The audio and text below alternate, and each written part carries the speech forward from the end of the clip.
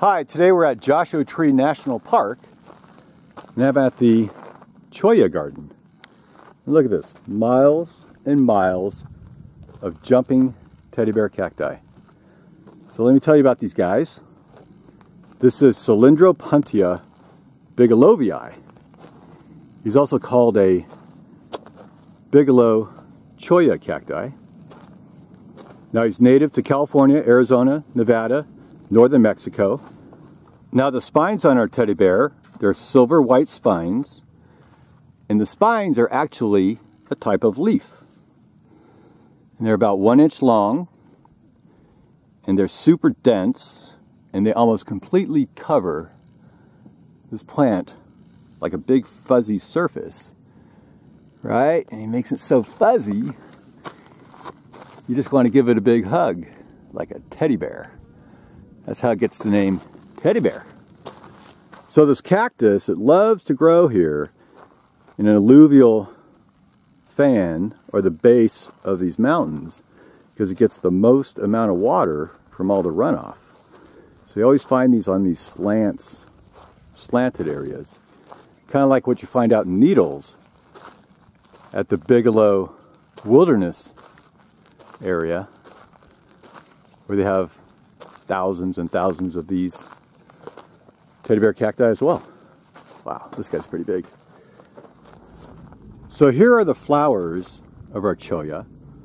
They're yellow-green flowers. They emerge at the tips of the segments around May or June. They produce a fruit less than a one inch diameter. It's a tube-shaped fruit, and it may or may not have spines. But the fruits, they have very few seeds, and those seeds themselves are not very viable. So this plant, in order to propagate, it mostly does it by dispersal of the stems or the segments. So the stems here, they're very sticky and they'll attach to you or uh, some sort of animal and the animal will then carry it across the desert to repropagate it. And also, they'll tend to fall on the ground like we have here. And then if an animal steps on it, it'll carry it across the desert. And if that doesn't happen, it may just germinate right where it stands. And you notice this plant is very bare at the trunk as it goes up to the top, right? So all these here have already fallen off. And these here, these brown guys, they'll fall off later and later and later until you get to the top. That's how this guy likes to propagate. And that's why they call it a jumping teddy bear cactus because these little segments, they'll tend to jump out at you if you walk too close. So be careful.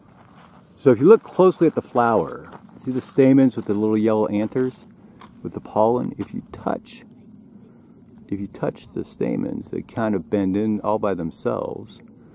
And that way they envelope the pollinator to distribute more pollen. Yeah, look at that.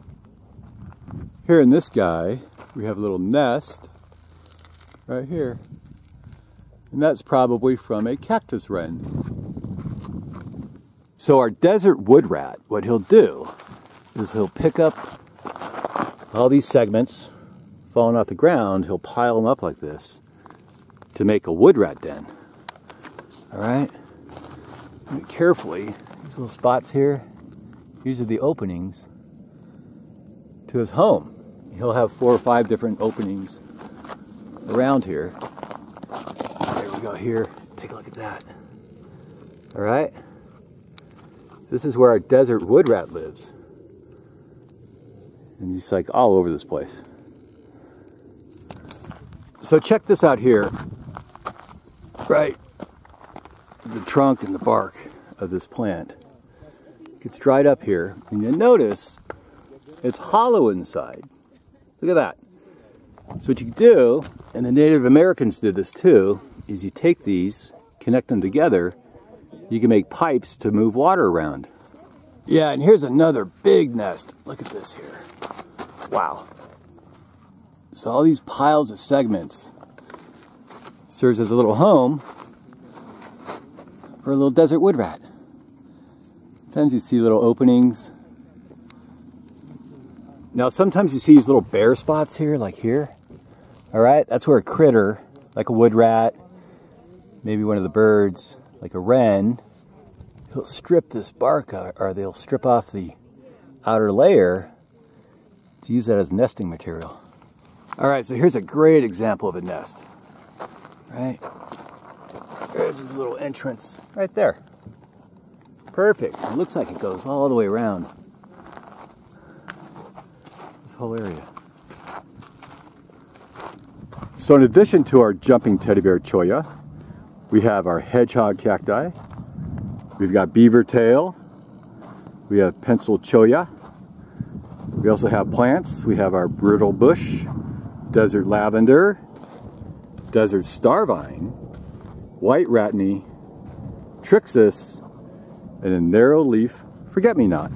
So there's tons of stuff to see here. You really got to check it out. All right, so I hope you liked that video out in Joshua Tree National Park of this beautiful cholla garden completely filled with our jumping teddy bear, Cylindropuntia bigelovii. Wow. I love this place. All right. Have a great day. Thanks for watching. Bye.